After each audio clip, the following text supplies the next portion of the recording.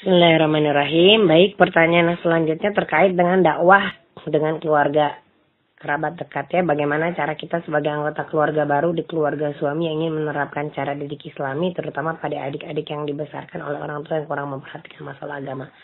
Sehingga anak-anaknya dengan usia 19 tahun dan 10 tahun masih belum menomorsatukan urusan agamanya. Alhamdulillah yang 19 sampai 10 tahun ini berarti kan ya terlahir dalam keluarga muslim ya Nah, sementara para sahabat dulu yang pertama kali menerima Islam ya kondisinya ada yang dari kondisi yang jahiliyah. Jadi insya Allah ini juga memberikan optimisme kepada kita bahwa setiap orang tuh berhak uh, atas izin Allah mendapatkan hidayah. Jadi cara pandangnya adalah bagaimana cara pandang dakwah untuk mengajak seseorang berhijrah. Nah berdasarkan pengalaman saya yang insaf di tengah jalan, dulu juga mungkin kalau pendekatan dakwahnya ke saya itu langsung secara ekstrim perintah dan larangan terhadap sesuatu keburukan yang masih saya lakukan itu pasti akan cenderung mundur gitu ya.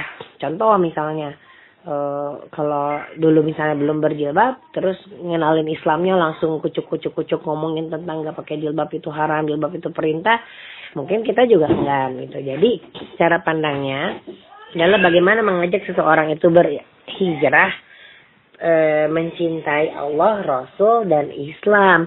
Karena kalau sudah tahu keindahan Islam, sudah ada rasa kecintaan kepada Allah yang sangat, kemudian perasaan ingin meneladani Rasulullah sedikit demi sedikit, mereka juga akan e, memperbaiki diri untuk hidup sesuai dengan syariah. Jadi bermulailah dengan berdakwah e, dari sisi akidah, bagaimana sedikit demi sedikit mungkin dengan buku yang kita berikan dengan nasihat yang kita sampaikan tentang Allah dengan Ras tentang Allah dan Rasul tentang keindahan Islam membuat mereka kemudian luluh dan mau tunduk patuh sama Allah sama Rasulullah sehingga mereka pun juga akhirnya mau melaksanakan secara keseluruhan. Jadi mulai pada hal-hal yang inti baru kemudian kita berdakwah pada hal-hal yang furu. Khawatirnya kalau kita mulai pada hal-hal yang cabang, mereka belum siap, belum tunduk, rasa tunduknya belum terbangun, rasa cintanya belum terbangun, akhirnya yang ada penolakan.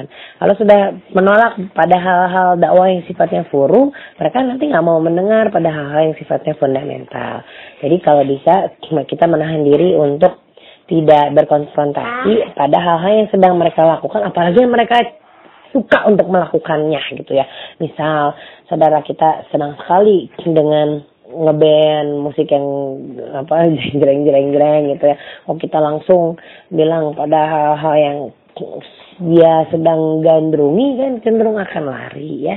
Jadi ya berlemah lembut lah ya sehingga mereka tidak kemudian lari dari dakwah kita. Nah, terakhir ya didoakan ya karena eh, hidayah itu milik Allah jangankan sama saudara ibu-ibu ya. Orang kita sama anak kita sendiri aja kewajiban kita tuh cuma bisa menyampaikan. Di dalam Al-Quran juga Allah berfirman kewajibanmu hanya menyampaikan sementara petunjuk itu kan datangnya dari Allah. Jadi ya minta aja dibelak balikan hatinya itu sama Allah. Mungkin nggak hari ini mungkin nggak tahun ini mungkin tahun depan. Saya juga berproses kali ya memang berkali kali misalnya dakwah sama keluarga dan itu paling susah ya.